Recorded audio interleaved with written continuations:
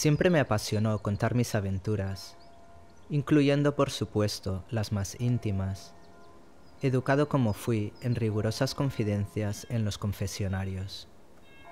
Pero resulta muy difícil hallar a las personas adecuadas que sepan o quieran oír nuestras confidencias.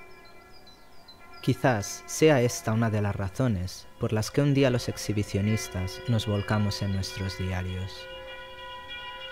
Yo soy de los que arden en deseo por conseguir aquello que los atrae, aquello que puede deparar placer.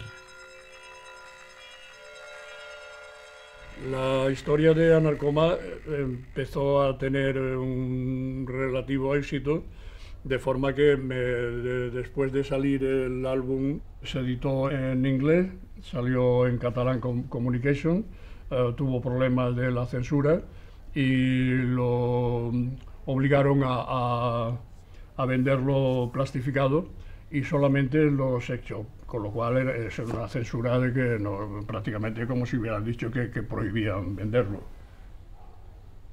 Este, también tuve problemas en Alemania con la, con la edición esta, porque en Bavaria me, denunciaron como corruptor de menores y como de todo lo que quisieron decir de, de mí y de la obra.